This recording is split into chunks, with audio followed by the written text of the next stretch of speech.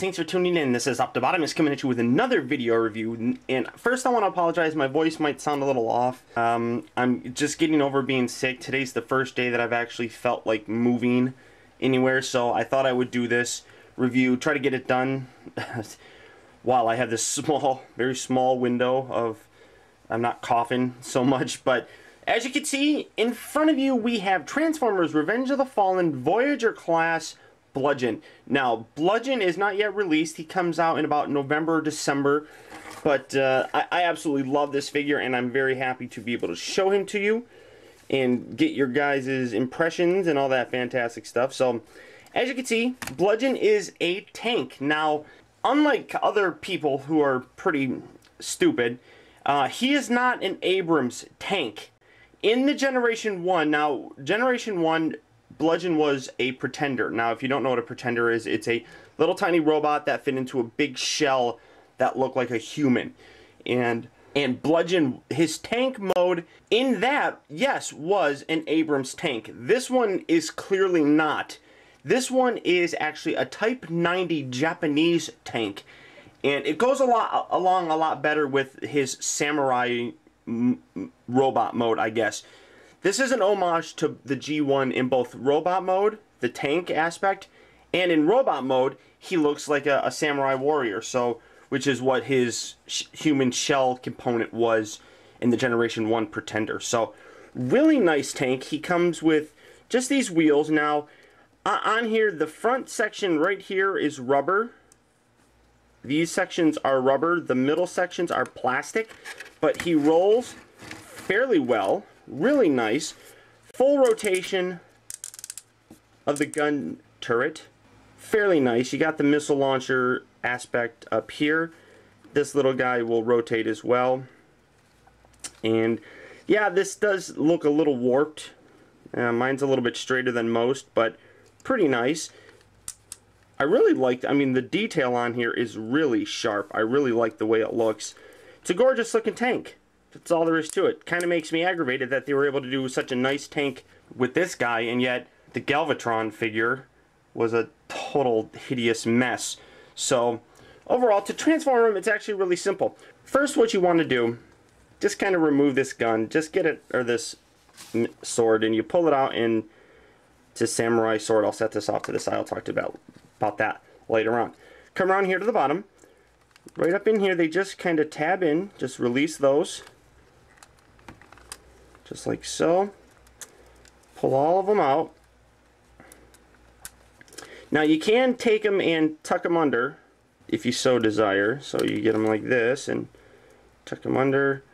I, I actually feel that these ones here are better to be tucked under than these ones and I'll show you why here in a minute. Come around here to the top.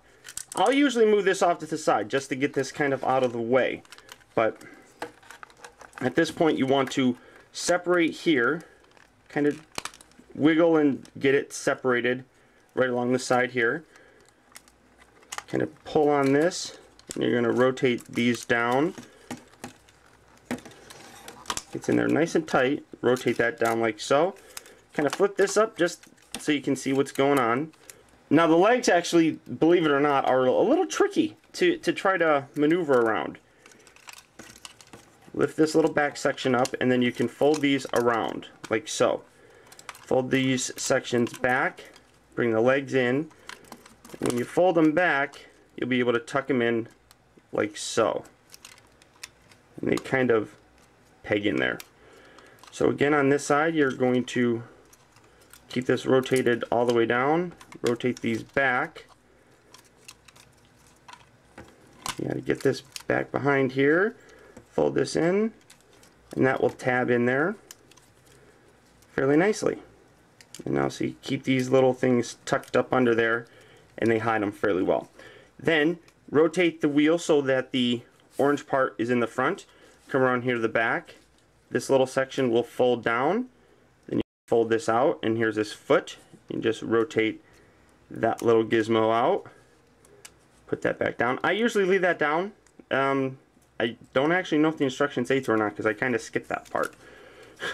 So rotate that down like so. Fold out the feet. Fold that down. And you have his legs now the way they're supposed to be. Fold this little section down. You can take this, rotate it down, and his head pops out. Take these, fold these out, fold them all the way down, rotate. Well, right up in here, just pull these little bits out, then rotate that down, plug that down, pull these out, fold this bit down, rotate that down. His hands are inside here, so just fold those out. Now you want to make sure that you clip the crotch piece. I know that sounded weird, but you want to clip this. There you go. Push that in so that locks that into place. Fold that down a little bit more. These, and see, this is where I like actually leaving these out because it looks like it adds armor to his side arms or whatever. So I'll leave those, fold that out for now. And turn, fold this little bit back down, rotate that around.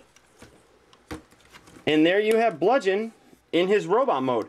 This this is absolutely a gorgeous figure. I, I really like the way he looks. The homage is noticeable in the fact that he does look like a samurai warrior. But his skull face leaves a little bit to be desired. It, it's not as skullrific as we were led to believe. It's it's nice looking. It's not too terribly bad. But overall, I, I think they could have did a little bit better of a job in terms of trying to capture a skull look to him. Here's his sword. Now, this is a little bit of a pain, but you get him to hold it in there, and it's actually really tough because his fingers aren't perfectly lined up for it. But there you go, holding his sword. Now, here's one added thing. On the back, if you take the top section, and separate it, you get some nice Mechalive stuff going on in there. You see the movements of things. Um, only one, and it reveals a hidden sheath for his small dagger. I've lost this small dagger. I don't know where it is. Um, it would normally fit inside there, so don't lose things is the moral of the story. Uh, but overall, though, as I said, really nice looking figure. He doesn't really fit in the movie line aesthetic though. He he doesn't have that same feel so I'll more than likely display him with my classic figures. And I think it'll hold up much nicer. In terms of articulation his head will kind of do the you know the right to left type of thing. It won't go all the way around but that's good because I hate when things go all the way around. Shoulders kind of get hindered so that's good in and out bend at two points at the elbow kind of bend at the wrist legs are back and forth. A little bit hindrance by all the, like you get the front, woo, look at there. You know, you get all the, the junk here, so it kind of hinders it a little bit. Rotates, and there's a little, if you want to call that mech alive. Ratchet at the knees. Some pivot here at the foot. Not not too much. But overall, this is, this is a glorious figure. I'm using the word glorious because I'm told I use gorgeous too much. So as you can see, Beautiful looking figure. I really like the way the orange and the green work on this. I think it's really sharp looking. And if you want, you can take the gun or the sword and you can slide it right through here. And he's got a little holster, sheath, whatever you want to call it, for him. But there's also another one here. There's one here and there's one here. So I don't know whichever one you want to use. I'll use that top one because it seems to be clearing a little bit better and you can have him storing his sword in his robot mode. So, gorgeous looking figure. I highly recommend picking this up. As I said, he comes out November, December-ish. So when you see him in stores, definitely pick this thing up. He, he's a great homage figure, and I'm really happy that they made him. He is the second bludgeon that we've gotten in the Revenge of the Fallen line. The first, uh, was not too long ago. It was a repaint of somebody else. I can't remember who. But Overall, gorgeous looking figure. I absolutely love the way he looks. Pick him up. Now, to transform him back, simple. Pull this guy out. Rotate these arms up. Lift that up. Lift that up. Take the hands, tuck the hands away. You rotate these around and they peg together nicely right upstairs. Like upstairs? Wow, maybe I am not, not feeling too well. So here we go again, rotate that in, and that'll peg together like so. Then just rotate these up, and they peg together right there. fold these little things out like so. Pretty nice. Now, for his legs, you need to detach. It's kind of tough. You got to get his head to pull down. There you go. Give it a nice good tug, and you'll pull his head down. Lift this up. Just get this out of the way. Rotate this. Again, kind of rotate this so that you can lift this back piece up just to give you a little bit more room. Rotate. Spin this bit around, and you're going to rotate all of this junk bring these bring these around towards the front. Both sides. There we are. Rotate them back so they're like so. Rotate the tanks.